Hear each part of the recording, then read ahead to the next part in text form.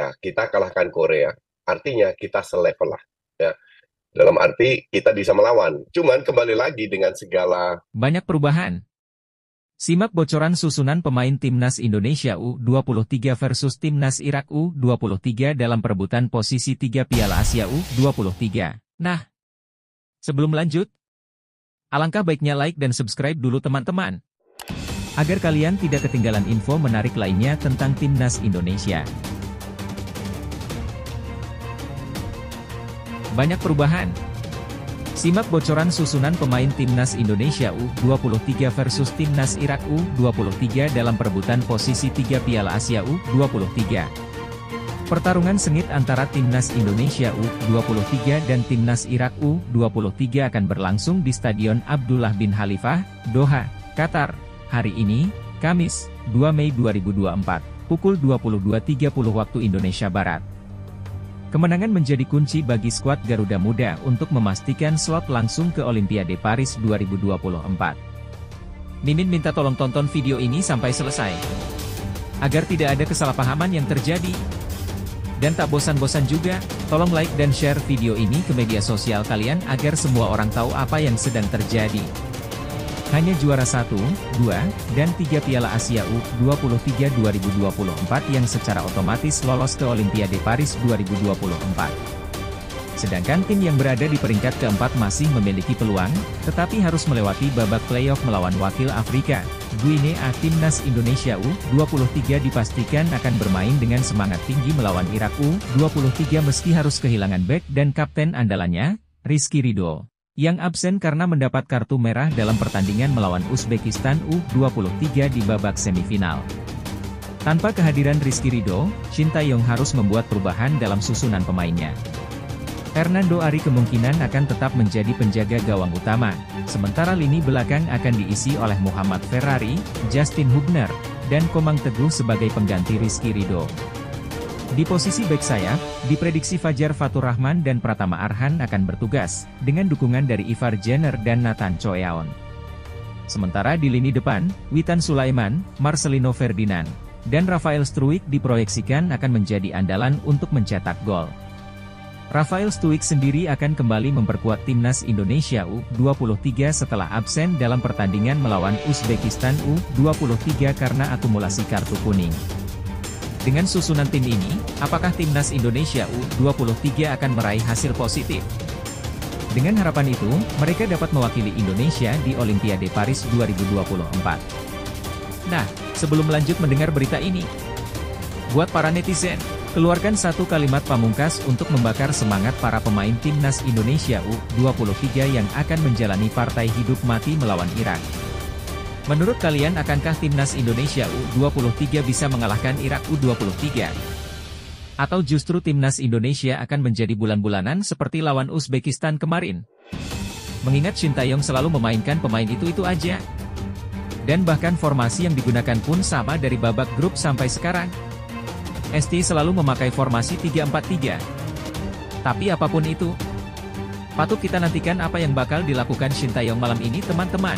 Oke teman-teman, Menurut kalian berapa prediksi skor Indonesia versus Irak malam ini?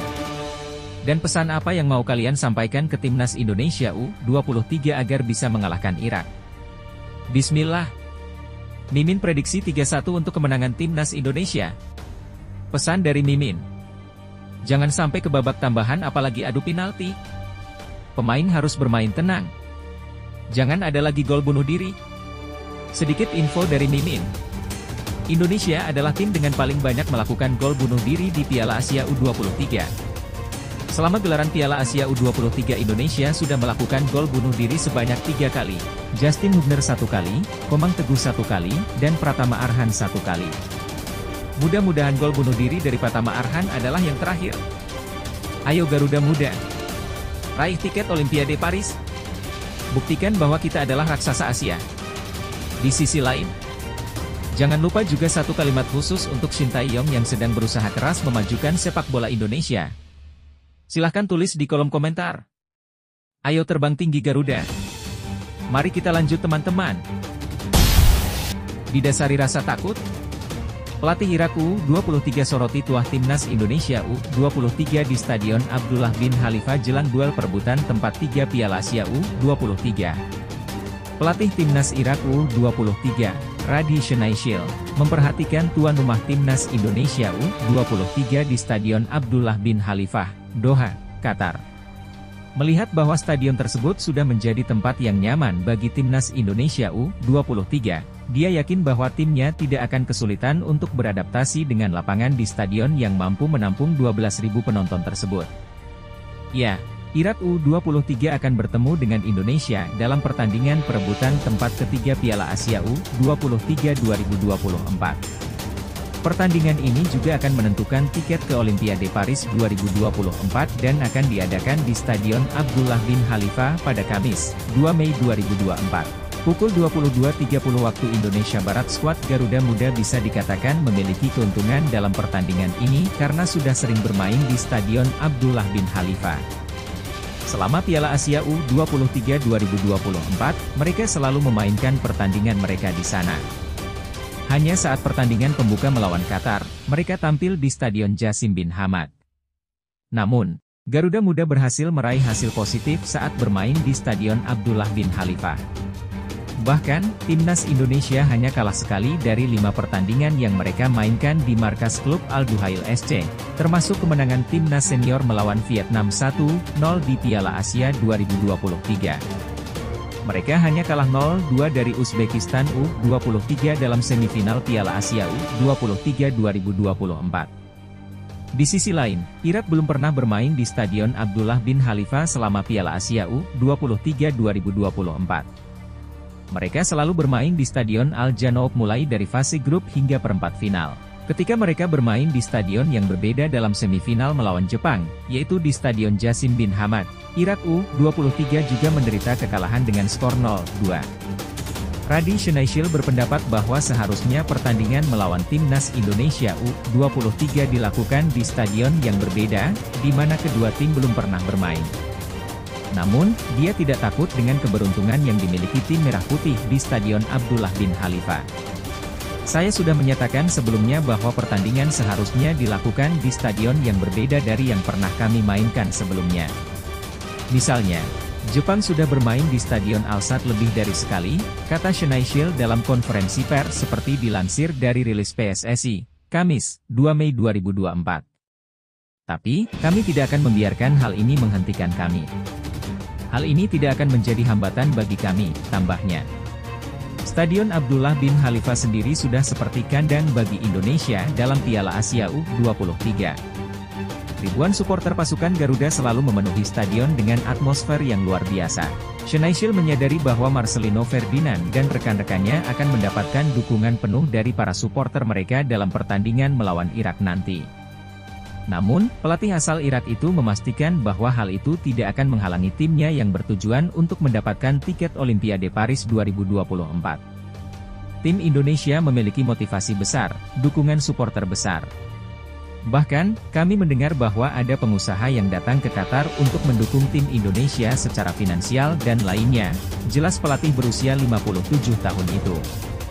Namun, Hal ini seharusnya tidak menjadi hambatan bagi kami, hal ini tidak boleh menghentikan kami, karena kami sudah pernah lolos ke Olimpiade Rio dari stadion ini sebelumnya, jadi kami bisa melakukannya lagi, lanjutnya. Ya, tim pemenang dalam pertandingan perebutan tempat ketiga Piala Asia U23 2024 akan secara otomatis mendapatkan tiket ke Olimpiade Paris 2024. Namun, tim yang kalah masih memiliki kesempatan lagi untuk bertanding di pesta olahraga terbesar di dunia ini. Tim tersebut bisa mendapatkan tiket Olimpiade dengan memenangkan pertandingan playoff antar benua melawan Guinea, yang merupakan tim peringkat keempat di Piala Afrika U23 2023. Pertandingan tersebut akan diadakan pada 9 Mei di Paris.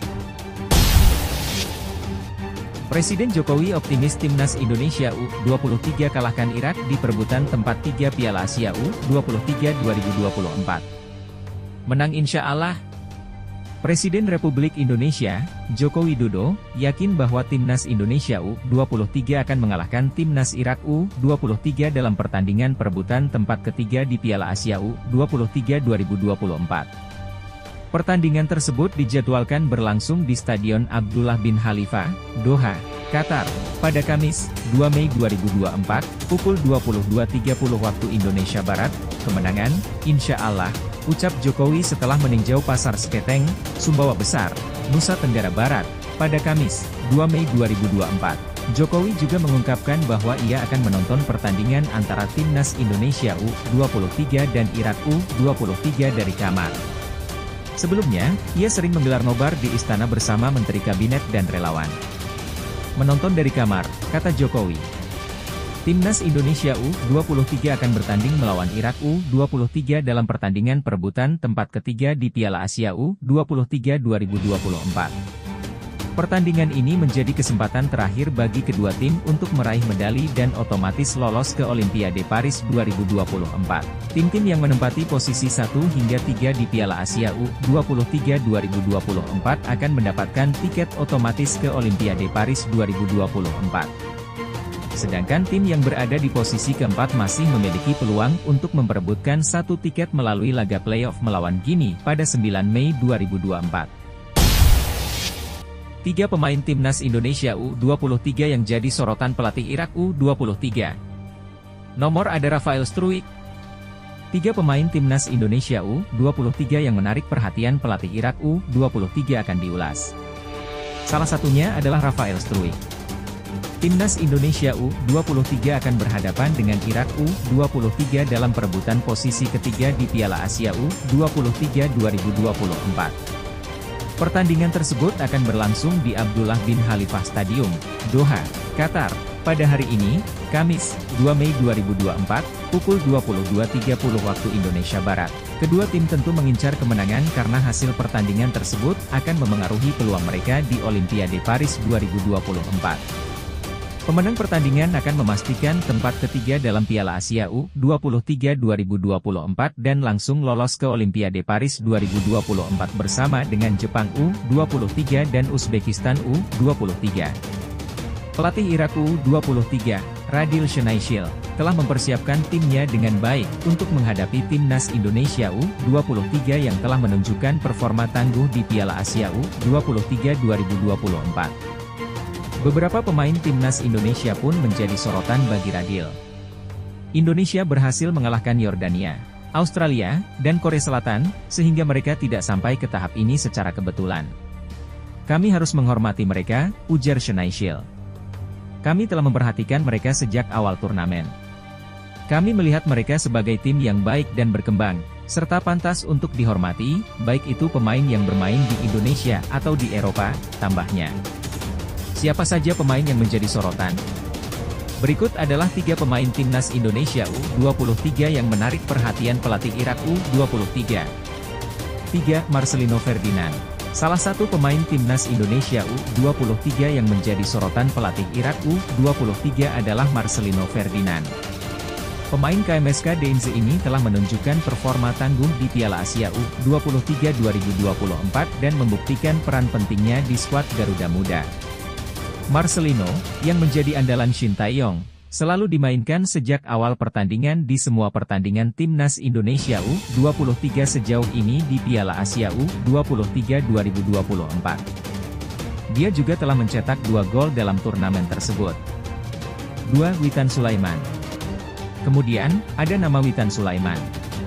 Tak kalah bersinar dari Marcelino, Witan juga menampilkan performa gemilang di Piala Asia U23 2024 dengan permainan apiknya di lini serang timnas Indonesia U23.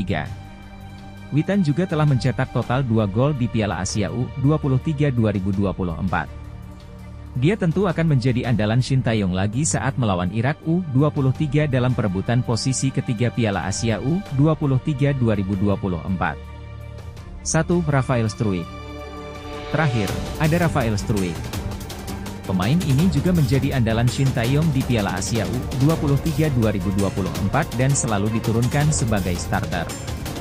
Namun, pada pertandingan melawan Uzbekistan U23 di babak semifinal, Rafael Struik absen karena akumulasi kartu kuning. Tanpa kehadirannya, lini serang timnas Indonesia U23 terlihat kurang tajam dan tim tersebut kalah 0-2. Kini, dalam pertandingan melawan Irak U23, Rafael Struik sudah bisa bermain lagi. Dia tentu bisa menjadi ancaman lain bagi Irak U23. Terlebih lagi, pemain yang bermain untuk klub Belanda, Ado Den Haag, ini telah membuktikan kualitasnya dengan mencetak dua gol di Piala Asia U23 2024. Kerja keras pulihkan mental timnas Indonesia U23. Sintayong yakin anak asuhnya siap hadapi Irak U23. Pelatih timnas Indonesia U23, Shin Taeyong, mengakui telah bekerja keras untuk memulihkan mental para pemainnya menjelang pertandingan perebutan posisi ketiga di Piala Asia U23 2024. Dia menegaskan bahwa Garuda Muda telah melakukan persiapan yang matang menghadapi timnas Irak U23. Timnas Indonesia U23 gagal melaju ke final Piala Asia U23 2024 setelah kalah 0-2 dari timnas Uzbekistan U23 dalam pertandingan semifinal. Akibatnya, tim Merah Putih harus meraih posisi ketiga untuk secara otomatis lolos ke Olimpiade Paris 2024. Selanjutnya, Indonesia akan bertemu Irak dalam pertandingan perebutan posisi ketiga yang akan berlangsung di Abdullah bin Nasser bin Khalifa Stadium, Kamis, 2 Mei 2024 pukul 22.30 waktu Indonesia Barat Irak juga mengalami nasib serupa setelah kalah 0-2 dari timnas Jepang U23. Shin tampaknya masih terpukul dengan kegagalan timnas Indonesia U23 melaju ke final Piala Asia U23 2024. Menghadapi Irak, ia menyatakan bahwa peran pelatih sangat penting dalam memulihkan mental para pemain. Meskipun kami telah berusaha keras dalam pertandingan melawan Uzbekistan, kami akhirnya kalah dan tentu saja mental para pemain terpengaruh oleh kekalahan ini, ungkap Shin dalam konferensi pers pada Selasa, 1 Mei 2024. Namun, kami telah memulihkan diri dan membangkitkan semangat para pemain, yang juga sangat bergantung pada peran pelatih, lanjutnya. Shin mengakui telah melakukan yang terbaik agar para pemainnya dapat melupakan kekecewaan. Meskipun demikian, ia memastikan bahwa timnas Indonesia U23 telah melakukan persiapan yang matang untuk mengalahkan Irak. Jadi, saya telah berusaha melakukan yang terbaik untuk hal tersebut. Namun, saya dapat memastikan bahwa persiapan kami telah matang, dan kami akan menyambut pertandingan melawan Irak dengan semangat yang positif, tandasnya. Pemenang pertandingan akan mendapatkan satu tiket ke Olimpiade Paris 2024, bergabung dengan Timnas Uzbekistan U23 dan Timnas Jepang U23. Sementara itu, tim yang berada di posisi keempat akan menjalani playoff melawan wakil Afrika, Timnas Gini U23, di Jepang pada 9 Mei 2024. Kapten Timnas Irak U23 Timnas Indonesia U23 tim yang sangat kuat. Kapten Timnas Irak U23, Muntader Mohamed, mengakui kekuatan Timnas Indonesia U23 dan menyebutnya sangat kuat. Ia merasa was-was menjelang pertandingan perebutan tempat ketiga Piala Asia U23 2024. Pertandingan antara Irak U23 dan Indonesia akan digelar di Stadion Abdullah bin Khalifa pada Kamis, 2 Mei 2024, pukul 22.30 waktu Indonesia Barat sebelumnya, dalam babak semifinal. Timnas Irak kalah 0-2 dari Jepang U23, sementara Timnas Indonesia U23 juga kalah dengan skor yang sama dari Uzbekistan U23. Pertandingan ini akan menentukan tim mana yang akan memperoleh tiket terakhir ke Olimpiade Paris 2024 melalui Piala Asia U23 2024. Irak telah lima kali lolos ke Olimpiade, sementara Indonesia belum pernah sejak 1956. Muntader menyatakan bahwa Irak bertekad bangkit dari kekalahan melawan Jepang dan telah mempersiapkan diri dengan baik untuk menghadapi timnas Indonesia U23. Meskipun di atas kertas Irak diunggulkan, Muntader tidak meremehkan Indonesia yang telah menunjukkan performa kuat dengan mengalahkan tim-tim seperti Australia, Yordania, dan Korea Selatan. Timnas Indonesia U23 adalah lawan yang sangat kuat, dan Irak siap menghadapinya dengan segenap kekuatan. Pertandingan perebutan tempat ketiga juga memiliki arti penting karena tim yang kalah masih memiliki kesempatan untuk memperebutkan tiket ke Olimpiade Paris 2024 dalam playoff antar benua melawan Guinea. Pertandingan antara Timnas Irak U23 dan Timnas Indonesia U23 di Piala Asia U23 2024 nampaknya akan menjadi laga yang menarik untuk disaksikan. Kedua tim telah menunjukkan kualitasnya masing-masing selama turnamen ini, dan meskipun Irak diunggulkan, Indonesia telah membuktikan bahwa mereka bisa mengalahkan tim-tim kuat. Simak kabar baik ini teman-teman. Irak U23 pernah kalah dari Yordania dan Thailand, waktunya timnas Indonesia U23 lolos Olimpiade Paris 2024. Timnas Irak U23 sebelumnya telah mengalami kekalahan dari Yordania U23 dan Thailand U23, dua tim yang pernah dikalahkan oleh timnas Indonesia U23. Apakah ini saat yang tepat bagi timnas Indonesia U23 untuk lolos ke Olimpiade Paris 2024? Menurut jadwal, Timnas Indonesia U23 akan bertanding melawan Timnas Irak U23 untuk merebut posisi 3 dalam Piala Asia U23 2024 yang digelar di Abdullah bin Khalifah Stadium. Kamis, 2 Mei 2024, pukul 22.30 waktu Indonesia Barat. Jika mampu meraih kemenangan dalam pertandingan ini, Timnas Indonesia U23 dipastikan akan melaju ke Olimpiade Paris 2024. Namun, jika kalah, Timnas Indonesia U23 akan harus menghadapi babak playoff melawan wakil Afrika, Timnas Gini U23, untuk memperebutkan satu tiket Olimpiade Paris 2024. Daripada harus menghadapi Timnas Guinea U23 dalam babak playoff, Timnas Indonesia U23 harus memastikan kemenangan malam ini melawan Timnas Irak U23 untuk mengamankan tiket Olimpiade Paris 2024. Peluang kemenangan Timnas Indonesia U23 atas Timnas Irak U23 cukup besar, mengingat ketidakstabilan performa lawan. Dalam dua bulan terakhir, Timnas Irak U23 telah dua kali menelan kekalahan dari tim yang pernah dikalahkan oleh Timnas Indonesia U23. Pada pertengahan Maret 2024, Timnas Irak U23 kalah 1-3 dari Yordania dalam Piala AFF U23 wilayah Asia Barat. Yordania U23 sendiri telah dikalahkan oleh Timnas Indonesia U23 dengan skor 1-4 pada pertandingan terakhir grup A Piala Asia U23 2024. Sementara pada pertandingan pertama grup C Piala Asia U23 2024, Irak U23 terkejut dengan kekalahan 0-2 dari Thailand U23. Timnas Thailand U23 sendiri selama satu tahun terakhir selalu kalah dari Timnas Indonesia U23. Kekalahan pertama terjadi dalam final SEA Games 2023, dengan skor telak 2-5. Terakhir, Thailand U23 juga mengalami kekalahan 1-3 dari Timnas Indonesia U23 dalam semifinal Piala AFF U23 2023. Yang menarik, kekalahan tersebut terjadi di kandang sendiri Thailand U23. Oleh karena itu, sangat menarik untuk menyaksikan permainan timnas Indonesia U23 dalam pertandingan malam ini. Jika mampu melaju ke Olimpiade Paris 2024, ini akan menjadi yang pertama bagi timnas Indonesia U23 berlaga dalam Piala Dunia level U23. Memang benar, timnas Indonesia pernah melaju ke Olimpiade Melbourne 1956.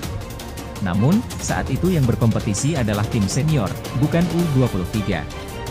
Baru sejak Olimpiade Barcelona 1992, cabang olahraga sepak bola putra hanya diperlombakan dalam kategori U23. Justin Hubner dipastikan bisa main di Indonesia versus Irak. Back Timnas Indonesia U23, Justin Hubner, dipastikan akan tampil dalam pertandingan melawan Irak untuk merebut peringkat 3 dalam Piala Asia U23 2024 di Stadion Abdullah bin Khalifa, Doha, Kamis, 2 Mei 2024, malam. Kepastian tersebut diumumkan oleh Nova Arianto, asisten pelatih Timnas Indonesia U23. Nova menyatakan melalui pesan singkat, Hubner, bisa main. Sebelumnya, AFC mengklaim bahwa Hubner tidak bisa bermain dalam pertandingan antara Indonesia dan Irak, seperti yang diungkapkan dalam situs resmi konfederasi. Namun, Nova membantah pemberitaan AFC tersebut. Selain itu, berdasarkan regulasi Piala Asia U23 2024, Hubner diperbolehkan untuk bermain meskipun mendapat kartu kuning saat Indonesia kalah dari Uzbekistan di babak semifinal. Hubner hanya mendapat satu kartu kuning selama fase grup dan perempat final, yaitu saat melawan Yordania di pertandingan terakhir grup A. Oleh karena itu, kartu kuning yang diterima Hubner saat melawan Yordania seharusnya dihapuskan saat melawan Uzbekistan.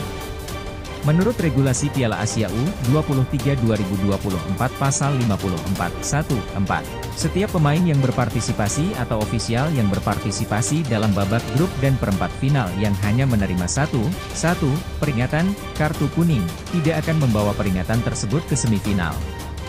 Dengan demikian, Timnas Indonesia U23 hanya akan kehilangan Rizky Ridho untuk pertandingan melawan Irak. Pertandingan tersebut menentukan satu tiket terakhir untuk lolos secara otomatis ke Olimpiade 2024 Paris. Selain itu, pelatih Shin Tae-yong juga dapat memainkan Rafael Struik yang absen dalam pertandingan semifinal. Shin Tae-yong menyatakan, Struik telah tampil baik sepanjang turnamen ini. Dia adalah salah satu pemain kunci sebagai striker. Meskipun dia absen dalam satu pertandingan, sekarang dia telah mendapatkan kondisi fisik yang lebih baik dan dapat memberikan kontribusi bagi tim kami besok. Kabar baik untuk Indonesia U23, Irak kehilangan dua pemain kunci. Berita baik datang dari Timnas Indonesia U23 menjelang pertandingan melawan Irak dalam pertarungan merebut peringkat ketiga di Piala Asia U23 2024, Kamis, 2 Mei 2024. Tim Irak kehilangan dua pemain kunci untuk pertandingan melawan Indonesia. Pelatih timnas Irak U23, Radi Shenaishil, dipastikan tidak akan dapat memasukkan bek kanan Mustafa Saadoun dan bek tengah Zaid Tahsen. Kedua pemain kunci Irak itu harus absen karena telah mengumpulkan kartu kuning. Kehilangan Saadoun dan Tahsen sangat mempengaruhi kekuatan timnas Irak U23 karena keduanya selalu bermain penuh untuk Irak sejak awal Piala Asia U23 2024. Kondisi timnas Irak U23 hampir serupa dengan timnas Indonesia U23. Shin Tae-yong tidak dapat memainkan kapten tim Rizky Ridho yang mendapatkan kartu merah langsung saat melawan Uzbekistan di babak semifinal. Selain itu, status Justin Hubner untuk pertandingan Indonesia versus Irak juga masih menjadi pertanyaan. AFC melalui situs resmi menyatakan bahwa Hubner akan absen karena mengumpulkan kartu kuning. Meskipun menurut regulasi Piala Asia U23 2024 seharusnya Hubner bisa bermain. Setiap pemain atau staf yang berpartisipasi dalam babak grup dan perempat final yang hanya menerima satu, satu, peringatan, kartu kuning, tidak akan membawanya ke babak semifinal, bunyi regulasi pasal 54 1, 4. Hubner hanya menerima satu kartu kuning sepanjang fase grup hingga perempat final, yaitu saat melawan Yordania di pertandingan terakhir grup A. Pemain dari Cerezo Osaka itu baru mendapat kartu kuning lagi saat melawan Uzbekistan di babak semifinal. Sementara itu, pelatih timnas Irak U23, Radi Shenaishil, tetap yakin dengan kekuatan timnya menjelang pertandingan melawan Indonesia meskipun kehilangan dua pemain kunci. Terlebih lagi, Irak akan diperkuat kembali oleh Kapten tim Muntader Mohamed yang absen saat mereka dikalahkan oleh Jepang di babak semifinal. Kami memiliki tim yang bagus, kami berani dan sangat termotivasi, serta memiliki kondisi fisik yang baik. Yang kami butuhkan untuk meraih hasil yang baik adalah fokus kami, ujar Shenaishil.